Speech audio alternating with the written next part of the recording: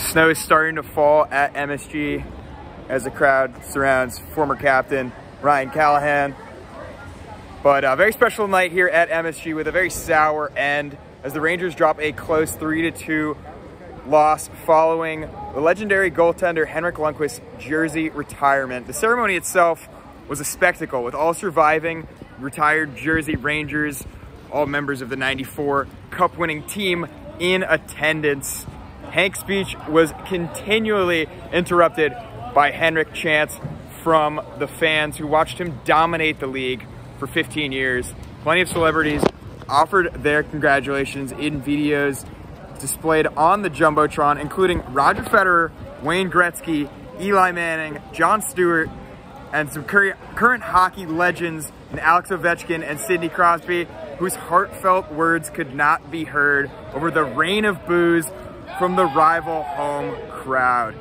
As for the game itself, it was a tale of two halves, or one third and two thirds. Uh, the Blue Shirts dominated the first period, scoring two goals to Minnesota's zero and outshooting their opponent 15 to seven. But from the second period on, the Wild outshot the home team 27 to 12, scoring two goals in the second period to tie it, and then netting a third early in the third period to take their first lead of the night. And the Rangers looked lost for most of the third period until the waning seconds of the game with an extra skater on ice with the goalie pulled. The Rangers caused a frenzy in front of the net with Mika Zibanejad finally shoving the puck over the goal line with just a second left. But the referees ruled, however, that Zibanejad's stick pushed Talbot's leg pad in his shooting motion, constituting goalie interference and a nullified goal. After review, the ruling was confirmed and fans responded by throwing cans and bottles on the ice in dismay. An unfortunate end to what was truly a memorable night and the uh, and I'm beyond grateful that I could be here in attendance as a fan growing up, uh, a, a, Henrik fan all the way through.